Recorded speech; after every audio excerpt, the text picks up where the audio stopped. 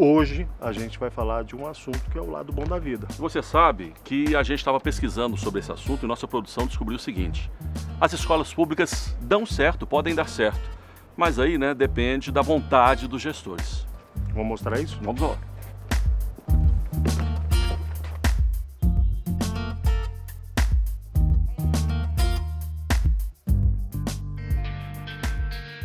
O nosso programa de hoje vai falar sobre projetos educacionais bem-sucedidos. A gente quer mostrar que quando um projeto tem o apoio de professores, de coordenação, de direção, são os alunos que ganham. E ganham o quê? Ganham melhores condições de estudo, ganham mais oportunidade de entrar na universidade, no mercado de trabalho. É, o nosso foco é mostrar projetos que atingem estudantes dos ensinos fundamental e médio. Pois é, nós estamos aqui numa van porque nós vamos para as nossas pautas, né? Eu vou a uma escola que fica na cidade do Gama, a 32 quilômetros aqui. Lá os alunos fazem um trabalho bem diferente, bem legal. É o seguinte, a nossa produção descobriu que essa escola que você vai visitar, lá os alunos foram apresentados a um projeto de iniciação científica. E o que é, né, essa iniciação científica? É o que a gente vai descobrir. Não vou falar nada agora. É o que a gente vai descobrir ainda hoje. Aguarde aí. Pois é, e eu vou visitar pessoas que pensam a educação como estratégia para melhorar o mundo, para melhorar as pessoas. Pois é, então a sua missão vai ser conversar com especialistas, né, para desvendar a educação, é isso? É isso aí. Você tem um outro projeto para visitar? Um outro projeto em que os alunos foram convidados pela escola a fazer uma reforma física mesmo. Colocar a mão na massa, na tinta. Coisa bem legal, né? Legal, vai ser muito bom. Então fique com a gente porque o Repórter Justiça já está no ar. Gama, a cidade do Distrito Federal de 130 mil habitantes, tem números preocupantes. Apenas 25% da população completou o ensino médio. Pouco estudo reflete na falta de oportunidade de bons empregos. Enquanto no plano piloto a média de renda familiar é de R$ 13.400 por mês, no Gama não passa de R$ 4.400. E isso faz aumentar a insegurança. Aqui são 40 homicídios por ano, em média. O comércio sofre 200 roubos também por ano. Fora os dias em que as lojas estão fechadas, é pelo menos um assalto todo dia. Andar a pé aqui também é perigoso. No ano passado, duas mil pessoas foram roubadas na rua, quase seis roubos por dia. A saída para essa realidade está sendo trabalhada atrás destes muros. Estamos no SEMI, uma escola de ensino médio que tem um trabalho especial com os alunos. Como vocês sabem, os pré-textuais, o quê? São aqueles que antecedem o seu texto. Aquele seu texto de toda pesquisa que vocês fizeram no decorrer do ano Todos os alunos do SEMI fazem parte de um projeto de iniciação científica. Eles se unem em um grupo de três e escolhem um tipo de trabalho que vão fazer. Pode ser em qualquer área, desde que exija pesquisa. Esta aula de informática é bem mais que isso. Aqui os alunos estão aprendendo como pesquisar e apresentar um projeto de alto nível. Eu tenho de falar bem baixinho agora para não atrapalhar a aula da professora Verônica. Ela e todos os professores estão engajados nos projetos dos alunos. E não são só os professores ligados às áreas de ciências, não. Professores de português, de história, geografia, todos ajudam os alunos na formatação desse projeto. Por exemplo, tem um grupo que está tratando de um dínamo que vai ajudar as indústrias a obter energia elétrica para as luzes, por exemplo. Esse dínamo não será apresentado sozinho. O grupo que está fazendo esse trabalho tem todo um projeto escrito também. Olha só, peguei aqui emprestado para mostrar para vocês um diário de bordo. O que é esse diário de bordo? Os alunos registram o dia a dia do projeto. Quem fez, o que fez, quantas vezes erraram, se precisou fazer de novo, é assim que funciona. Então, por exemplo, o professor de português tem de ensiná-los como fazer isso. O professor de português vai fazer parte do projeto. A vantagem do sistema para o aluno é que ele tem a oportunidade de conhecer um mundo totalmente novo. O projeto vai proporcionar isso a ele. E não é só isso. Além de tudo, eles aprendem a, a, dentro da metodologia científica as normas da BNT, como já foi falado, e também até o saber pesquisar. Sabem colocar referências de outras pessoas, de outros, de outros autores, desenvolvem bem e têm o, o interesse mais voltado para a pesquisa. Essa é uma das vantagens. É diferente o aluno que tem esse tipo de, de, de projeto, de trabalho, com o que não tem?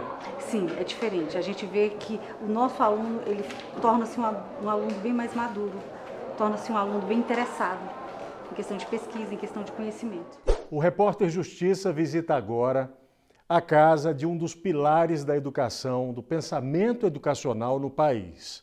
Eu estou falando de um mineiro que passou por São Paulo e está radicado em Brasília há mais de 40 anos. Estou falando do professor Célio da Cunha. Eu já começo, professor, perguntando aqui sobre os projetos educacionais, que é o tema deste programa. Eu só acho que esses projetos eles podem transformar a educação no Brasil? Onde tem um diretor, tem uma equipe de professores que, independentemente do governo, procuram levar avante algumas ideias pedagógicas importantes e procura melhorar o ensino, e procura melhorar, inclusive, o IDEB, que é aquele Índice de Desenvolvimento da Escola Básica. Né? Então, são inúmeras experiências no Brasil. A comunidade ela tem uma competência muito grande, uma competência expressiva em várias, em várias áreas do conhecimento, em vários setores de atividade, muitas vezes levando a escola, uh, levando a comunidade para dentro da escola, a gente pode ter assim resultados, resultados impressionantes. Chegou a hora de você entender o que é o projeto desses adolescentes. Primeiro, um grupo que escolheu energia elétrica como tema. Lucas Cabral, 17 anos. Natália, 17 anos. Maria Eduarda, 17 anos. Nosso projeto ele é na área de engenharia, é sobre reaproveitar energia nas indústrias utilizando o mecanismo dínamo, que é um gerador de eletricidade que converte energia mecânica em energia elétrica. Nós acoplamos esse mecanismo nas esteiras das indústrias, onde o movimento das esteiras das indústrias produz essa energia mecânica e o dínamo converte em energia elétrica e ilumina o local. Então as indústrias terão gasto apenas com o maquinário e não mais com a iluminação, porque o próprio maquinário delas conseguirão manter a iluminação do local. Nós já estamos no terceiro ano de pesquisa, onde a gente começou com a fase de pré-projeto onde desenvolvemos o pré-projeto e, e, almejamos os nossos objetivos. Aí no segundo ano a gente já foi mais para pesquisa de campo e laboratorial, que é onde a gente começa de fato a desenvolver os protótipos. Esse protótipo que nós vamos apresentar hoje, ele já é o quarto protótipo que a gente desenvolveu, onde o primeiro a gente utilizava bobinas de um elevador, só que ela já era reutilizada, então as bobinas estavam com um defeito. E depois a gente passou para um dinamo já feito industrial. Agora a gente tem muito mais zelo, né, para fazer qualquer trabalho de qualquer disciplina. E também a gente para para pensar em tudo que está acontecendo e que a gente pode sim resolver e que não é uma coisa tão impossível assim alunos de escola pública estarem desenvolvendo projetos de ciência então a gente vê que as coisas estão assim ao nosso alcance. A gente vai voltar daqui a pouco para mostrar outras experiências bem-sucedidas pelo país. Você sabia que 77 das 100 melhores escolas públicas do Brasil estão no Ceará? O que será que os cearenses fazem para dar certo? A resposta você confere daqui a pouco, depois do intervalo.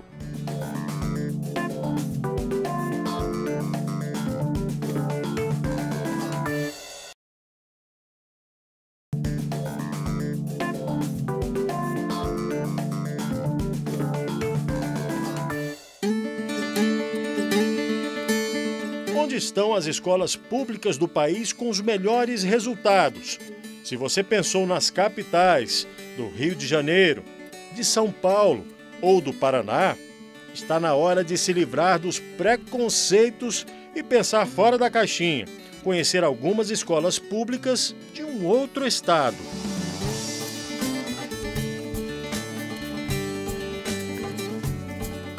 O Estado avançou muito na prática pedagógica, com políticas e investimentos permanentes, mas também com a valorização do educador e das práticas pedagógicas locais. Foi assim que o Ceará alcançou os primeiros lugares em um ranking brasileiro de melhores resultados na educação. Muitas vezes são questões simples, questões simples de gestão, de criar assim uma, uma nova mística no, no corpo docente nas escolas, por avanços, por, por ideias inovadoras. E eles conseguiram fazer isso, fazer isso também ampliando os investimentos educacional, mas também fazendo o monitoramento, acompanhamento das escolas, treinando diretores, capacitando professores e fazendo um acompanhamento para e passo isso com gestões continuadas e introduzindo também nas escolas novos métodos de ensino, introduzindo uma pedagogia mais moderna. Cenário é árido, mas o terreno onde brota a criatividade para fazer a educação acontecer é fértil. A partir do momento que um projeto é, desenvolve algo positivo e traz o afeto, a, a autoestima também vai mudar. Então, esse menino vai ter uma valorização, esse menino vai descobrir uma habilidade que ele não tinha, ele vai descobrir uma capacidade de afeto que vai mexer com a autoestima de uma forma positiva. Então, isso vai mexer com toda a escola e a mudança do sentimento, a mudança do pensamento que vai fazer diferença. Região do Baixio, município de Pedra Branca, sertão do Ceará, a 265 quilômetros da capital Fortaleza. Na Escola Estadual Antônio Miguel de Lemos, que atende estudantes do ensino infantil e do quinto ao nono ano, foram implantados diversos projetos. Um deles, a Roda da Leitura. Isso com o suporte do Estado e apoio das famílias. E deu muito certo. A escola foi alçada à sexta posição do ranking nacional do Índice de Desenvolvimento da Educação Básica, o IDEB. Bom, isso exemplifica muito bem o chamado direito público subjetivo você sabe o que é isso? É uma concepção de que a educação é corresponsabilidade do Estado, da sociedade e das famílias. Aquela ideia antiga de que a educação era um problema exclusivo da família ou exclusivo do Estado desapareceu a partir da Constituição de 88. Esta Constituição trouxe à tona uma ideia de que a educação é um problema e uma solução que interessa a todos e a todas, não apenas ao estudante, não apenas ao professor. E isso permite que se pense a educação não só como um momento formal, mas também através de atividades que permitam que os estudantes estejam fora de atividades que não sejam atividades educativas, de formação do seu caráter, de formação da cidadania. A rede estadual de educação no Ceará tem 716 escolas. 189 funcionam em tempo integral. São 450 mil alunos. Destes, 389 mil são do ensino médio. Quanto aos ensinos infantil e fundamental, existe uma parceria do Estado com os municípios, que são os gestores. E faz toda a diferença. No ano passado, por exemplo, 77 estudantes receberam a nota 1000, que é a nota máxima do Enem, no universo de 6 milhões. Um deles era de Pedra Branca. E aí você pode dizer, isso é um resultado isolado. Pode até ser, mas o jeito de ensinar fora da caixinha não. Ele já foi espalhado para vários municípios do Ceará. Não existe um conjunto de normas claras que definam padrões a serem seguidos pelas escolas públicas. A Constituição Federal e a Lei de Diretrizes e Bases, por exemplo, não obrigam o uso da criatividade, não estabelecem que projetos sejam implantados em escolas públicas como forma de renovar, oxigenar o jeito de ensinar. A norma não veio para criar programas concretos, cabe aos gestores, cabe às sociedades, aos estados, os municípios, né? mas também à sociedade civil e cabe também às famílias encontrar esses mecanismos que correspondam a esse horizonte normativo. Em algumas escolas, os projetos dão certo e passam a ser frequentes. Para os estudantes, podem ser uma experiência terapêutica. A praça, que funciona no final da rua, uma quadra de futebol bem cuidada, uma biblioteca bonita e colorida, é, brinquedos diferentes, a possibilidade de fazer brincadeiras diferentes. São várias coisas que podem que servem como terapia alternativa. E agora o repórter Cristiano Oliveira continua mostrando para você um dos projetos que dão certo no Brasil. De volta à escola, onde a iniciação científica é disciplina obrigatória, este grupo apostou em um projeto ligado à saúde. Bruna, 16 anos. Tailine, 16 anos. Maria Clara, 16 anos. Nosso aparelho, ele se baseia na optometria. Então, os pontos dele, as letras dele são especialmente daquele jeito. E sim, ele adestra a visão do paciente, adestra a visão do indivíduo, para que assim ele possa enxergar melhor o mundo ao seu redor. Dessa forma, ele ajuda muito o indivíduo, ele faz com que a pessoa, o paciente, ele saiba melhor da sua visão, ele aproveite melhor ela. A optometria é uma área muito vasta que poucas pessoas dão atenção. Tem tratamentos até para gastrite, tratamentos de TDAH. TDAH é uma doença tão conhecida, mas que poucas pessoas sabem que muitas vezes pode estar associado com a sua visão. Então a optometria proporcionou para a gente é, muito conhecimento, muita coisas diferentes que a gente não sabia que poderiam ser tratadas com a optometria e a gente descobriu muitas coisas novas. Ao ser ligado, é controlada a velocidade e geralmente em sessões ela é feita em velocidade gradual. A primeira consulta ele gira, sempre em sentido anti-horário, e o paciente foca ao centro. Com a visão focada, ele pega alguns pinos e ele vai marcando onde o instrutor manda. Por exemplo, coloca o pino no pingo do i. E ele coloca sem desfocar a visão, ele tem que achar e marcar com a sua visão periférica. A primeira sessão geralmente é muito difícil, mas vai ficando mais fácil, porque o aparelho vai literalmente adestrando a visão. A pessoa vai aprendendo a controlar e a usar melhor a sua visão periférica. Lucas, 17 anos. Marcos Túlio, 16 anos. Samuel, 17 anos. Fazenda Sustentável visa a captação da água da chuva nos longos períodos de chuva para o armazenamento dela numa lagoa que vai ter o controle biológico, justamente para ser usada no período de seca. Tem pesquisas que mostram que da água utilizada na agricultura, quase metade dela é desperdiçada. E tendo em vista que a região centro-oeste passa por dois longos períodos, é, a, a, o período de seca e o período de chuva, a gente decidiu um, meio, um método para a gente pegar a água no período da chuva, armazenar ela numa lagoa para que futuramente ela possa ser utilizada. Nós usamos principalmente o, a economia do fazendeiro. Porque muitas vezes nós também nós não visamos, por exemplo, só o fazendeiro mais, mais rico. Nós também visamos aquele o pequeno a, a agricultura familiar, por exemplo. O resultado desse tipo de aprendizado aparece nos números. A cada cinco estudantes do CEMI, um passa no vestibular da UNB, a Universidade Pública de Brasília, a mais concorrida do Distrito Federal. Aqui no começo teve problema, mas hoje em dia todo mundo que vem trabalhar aqui já sabe desse projeto. Então, muitos, agora mesmo teve a entrevista, processo seletivo de remanejamento interno. Então já vieram vários professores justamente por causa do projeto de iniciação científica, né? querendo trabalhar aqui justamente devido a esse projeto. E o que dá certo, dá orgulho. Eu sou muito orgulhoso, com certeza. E buscando cada vez melhorar mais. Essa escola está demonstrando que é possível fazer. E se é possível fazer, por que, que nas outras isso não é possível? Então essa é uma pergunta que ainda está por ser respondida. Talvez os professores aqui tenham a receita. Talvez eles sejam um embrião, eles e outras escolas que porventura estão tendo sucesso semelhante, é, talvez eles sejam, é, é esteja na hora de ouvi-los entender exatamente qual é a receita e reproduzir essa receita. Bons projetos educacionais não são só aqueles aplicados dentro de sala de aula. O repórter Cristiano Oliveira esteve em uma escola onde foi exatamente no pátio que os estudantes descobriram uma nova forma de valorizar o ambiente escolar. É o que você vai ver no próximo bloco do Repórter Justiça. Não saia daí.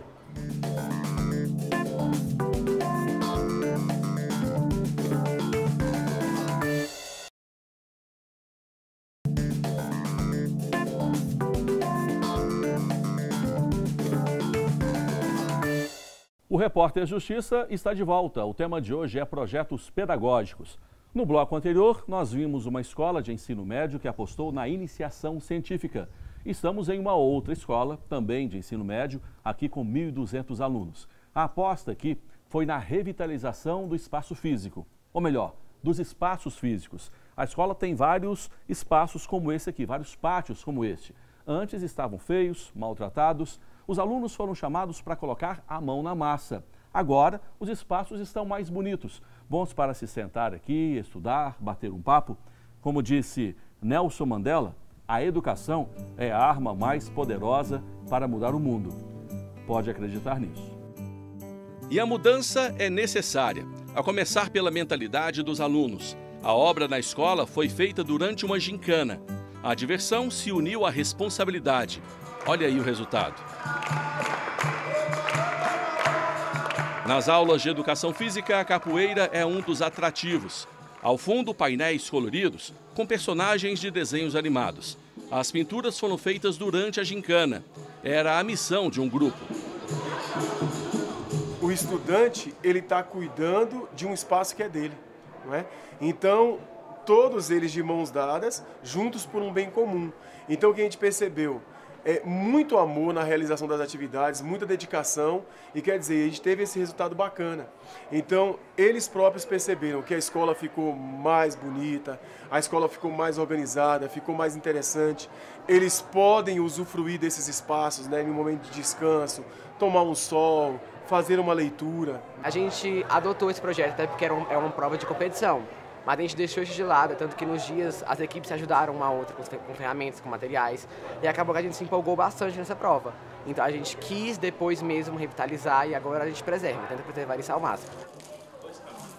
Justamente esse laço entre a escola, que criou com a gente, e com a prova também de revitalização, nós assim encontramos um lado de se aproximar dos outros e encontrar, fazer até novos amigos também. Foi muito importante para nós essa essa atitude da gente abraçar esse, esse trabalho da revitalização, porque a partir de agora a gente dá muito valor nisso, porque foi algo que a gente fez. Então é algo que a gente vai guardar e vai lembrar para toda a vida. É algo que a gente fez e a gente cuida dele com muito carinho. Está aí mais um exemplo de que é possível melhorar o ambiente escolar. A partir do momento que um professor chega com uma ideia nova e permite que esses alunos falem e se escutem e escutem o que eles estão falando, tudo muda. Porque aí ele vai sentir que aquele espaço é um espaço de liberdade, é um, é um espaço para afetividade, é um espaço para criatividade. Então, essas questões que precisam ser olhadas com mais cuidado, sabe? A direção da escola precisa ver a gestão como um ato pedagógico e não apenas nos seus fins administrativos de preencher formulários e aquelas exigências burocráticas do sistema de ensino. É, a gestão da escola ela, ela tem que dar a maior importância à dimensão pedagógica.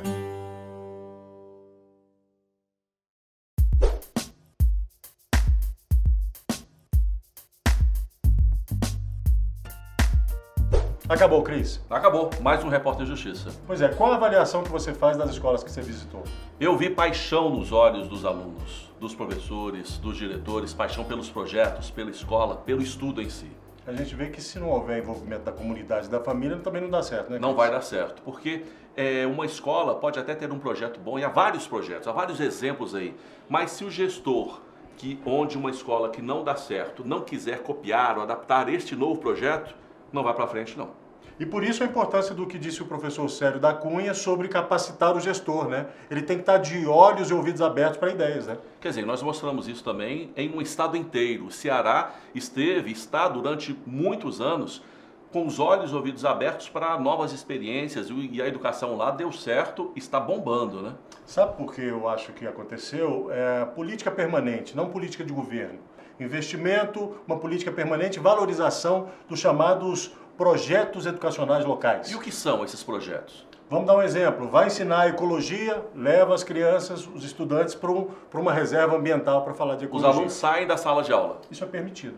Que bom. E experimentos assim podem ser feitos, são feitos e podem servir de exemplo, né? É bom que isso aconteça. É isso aí, tomara que aconteça, né? Missão cumprida? Missão cumpridíssima. Agora é hora da gente pensar no próximo programa, da semana que vem. Vamos lá. E o Repórter Justiça, então, fica por aqui. A gente se vê na semana que vem, no próximo programa. Um abraço.